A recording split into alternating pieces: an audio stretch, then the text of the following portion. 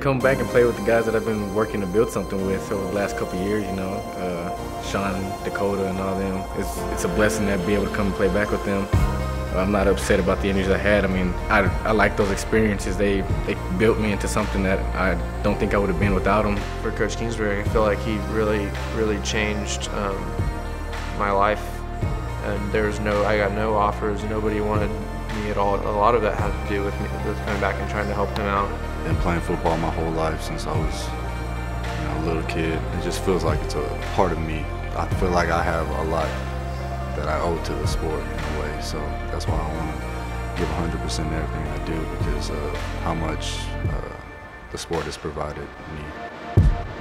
As I started this all to uh, pay back my mom and dad for everything they've done for me in my life. I mean, they put everything up for collateral just for me to be able to go to school here. Uh, I mean, three years I paid for school, racked up some debt, and then when I got told I was on scholarship, it was, it was nice to be able to call home and tell them I'm on scholarship, you ain't got to pay for my school no more The difference between having a friend and a teammate.